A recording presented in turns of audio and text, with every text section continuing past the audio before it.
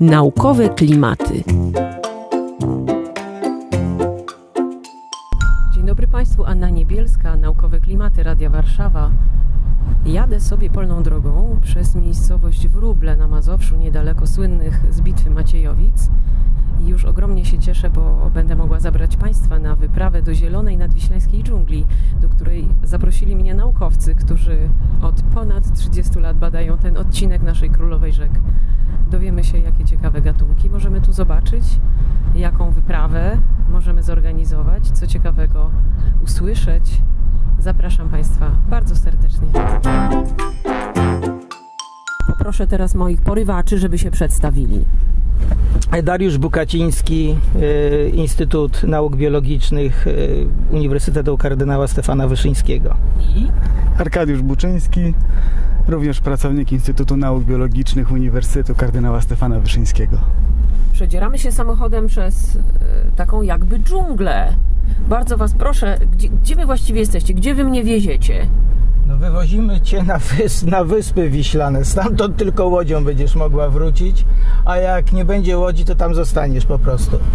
E, jedziemy teraz przez, e, dojeżdżamy, jesteśmy w międzywalu Wisły, e, w takich łęgach, e, zdegradowanych łęgach nadwiślańskich, wierzbowo-topolowych. Piękne miejsce, pozostałość e, dawnych, starych zadrzewień łęgowych, których właściwie nigdzie w Europie nie ma. Akurat na Wiśle to jest jedna z niewielu rzek, gdzie możemy jeszcze tego typu krajobrazy zobaczyć. Wyładowaliśmy ponton. Wy y, wyładowaliście strasznie ciężki silnik i mnóstwo sprzętu. I co będziecie dzisiaj robić? No dzisiaj popłyniemy na wyspy do kolonii mewy siwej. Będziemy sprawdzać, czy wykluły się pisklęta, czy y, nie ma strat y, w lęgach. Mamy okres klucia się piskląt. Bardzo, bardzo Państwa proszę, w momencie, kiedy jesteście na rzece, Pamiętajcie o tym, że łowiąc ryby, y, paląc ogniska na wyspach, biwakując na wyspach, nie jesteście sami. Pamiętajcie, że taki biwak y, to jest śmierć bardzo wielu piskląt y, w bardzo krótkim czasie. Mamy gorące dni, wystarcza 20-30 minut, jaja w gniazdach są ugotowane, pisklęta jeszcze szybciej padają z, z gorąca. Pamiętajcie Państwo, że rodzice pisklęta ochraniają nie tylko dlatego, czy lęk ochraniają, żeby go wygrzać, ale również dlatego, żeby go osłonić przed słońcem. Słyszymy tu też żaby. Mam nadzieję, że znowu za chwileczkę się odezwą. Czy to prawda, że w tym roku jest mniej płazu, że coś się z nimi niedobrego dzieje? Ktoś tak mi mówił.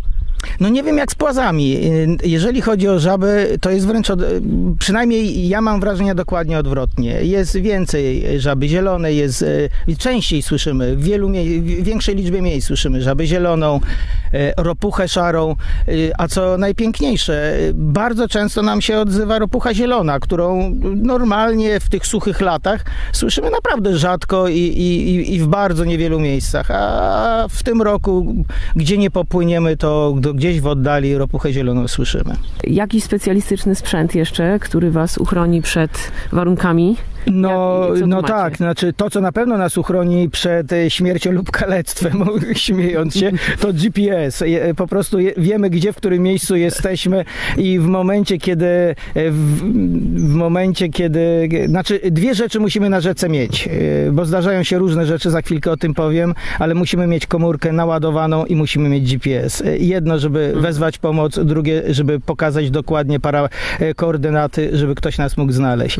Dlaczego? Bo tak jak mówiliśmy, przewalają się burze. E, W lecie, o czym może trudno sobie wyobrazić, ale bywają bardzo silne wiatry i wręcz burze piaskowe, gdzie po prostu jest szaro. Burze Pia- piaskowe? Burze piaskowe. Naprawdę zdarza się, że w czerwcu czy lipcu wieje tak, e, że pisklęta są zasypywane przez wiatr na śmierć po prostu.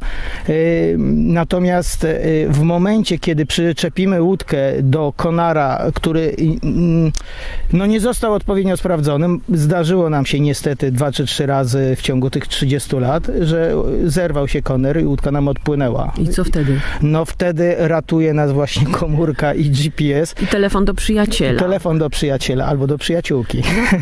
Pa, pani Monika? E, tak. E, ta, znaczy akurat to pani Moniki dotyczyło, w związku z czym to pani Monika dzwoniła wtedy. Okej, to dodamy kim jest pani Monika, bo to ważna osoba.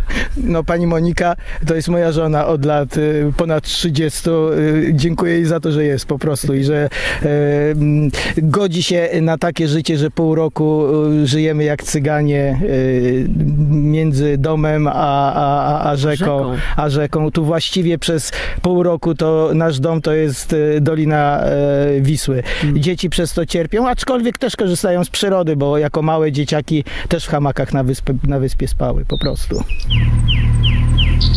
Szumi silnik, my płyniemy przez Wisłę. Jak to jest z tą wodą? Jak to, jak to jest z poziomem e, wody w tym roku?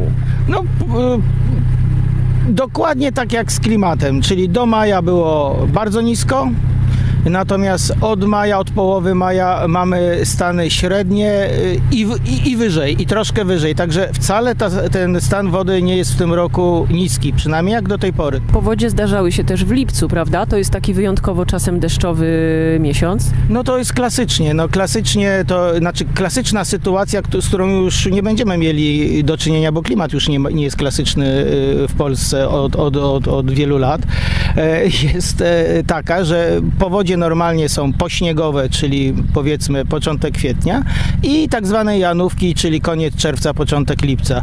E, Powiem szczerze, ostatni taki klasyczny układ e, kwiecień, e, koniec czerwca, początek lipca, to podejrzewam, że był początek XXI wieku lub koniec lat 90. XX wieku. Mamy dwa pisklaki śliczne, nakrapiane, Mamy takie ładne.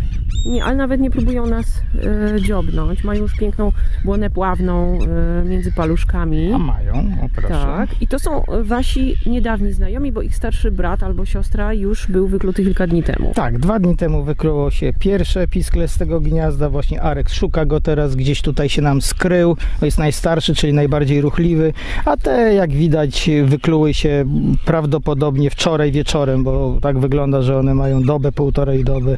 I jeszcze są mało ruchliwe, ale już, już w bardzo dobrej formie. Widać, że karmiona, wo, wola pełne, także spokojne, nie, nie denerwują się. To jest ta taka poduszeczka Tak, tutaj. tutaj, po to, taka poduszeczka. Tak. One za chwilę zaczną zapewne ze stresu pluć, także w tym momencie wyplują to, co w wolu mają jeszcze nie strawione, ale na razie czują się bardzo dobrze, także zadowolone z życia. Nie wiedzą jeszcze, że to jest najszczęśliwszy okres w ich życiu. Potem będzie już tylko gorzej. Dlaczego? No, y, wokół drapieżniki, wokół same niebezpieczeństwa, zarówno te za chwilę, ale również tu dookoła, zobacz, jest kolonia rybitw. Rybitwy są niezwykle agresywnymi sąsiadami. Y, Ma to swoje dobre i złe strony.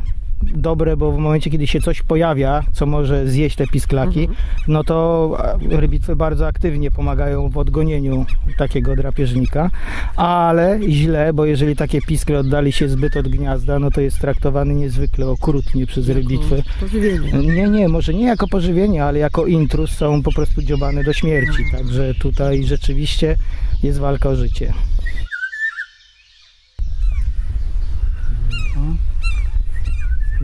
56,2. 56,2. Teraz będziecie obrączkować naszych małych przyjaciół.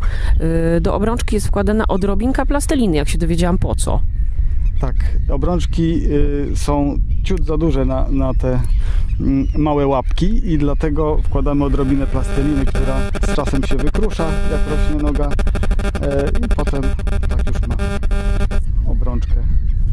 bez plasteliny, a noga jest odpowiednio duża, żeby obrączka się nie zsunęła. I skąd wiecie, i skąd wiecie, gdzie obrączkowaliście?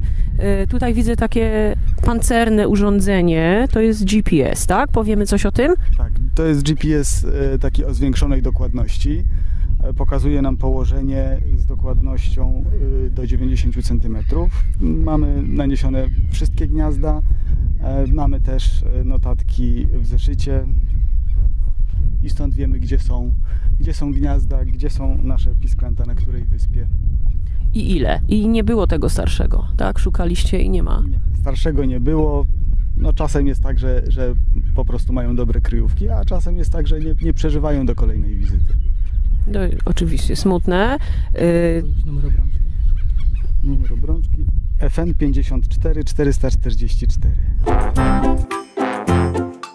Widzimy samotne jajeczko. Y, Ty mówisz, że y, sieweczka chciała je podrzucić komuś? No tak, e, to zdarza się. Najczęściej to zdarza się w obrębie jednego gatunku, że inna samica podrzuca e, jajo do gniazda sąsiadki czy sąsiada. Natomiast tu akurat mamy sytuację taką, często są lęgi mm, takie mieszane.